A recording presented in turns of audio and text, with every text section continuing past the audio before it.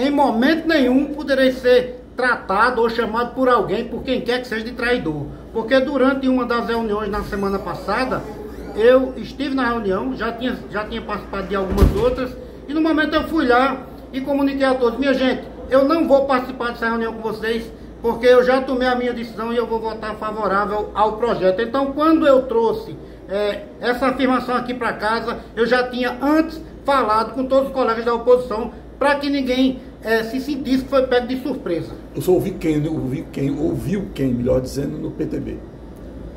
Quem que eu ouvi no PTB? Ah, no PTB a gente conversou com todo mundo, a gente conversou com o Bruno Faustino, antes disso, a gente conversou com a vereadora Valéria, a gente conversou, a gente conversou com todo. Houve uma conversa e eu, eu simplesmente fiquei, fiquei na condição de votar de acordo, de acordo com o que eu entendesse que fosse melhor para Campina Grande, porque como eu estou na casa representando o partido, o voto aqui na casa é meu.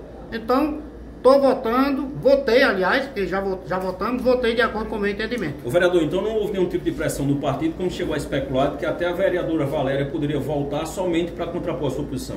Não, isso foi só especulação, de forma nenhuma. Não fui pressionado a nada para votar nem favorável nem contra. Votei de acordo com o meu entendimento.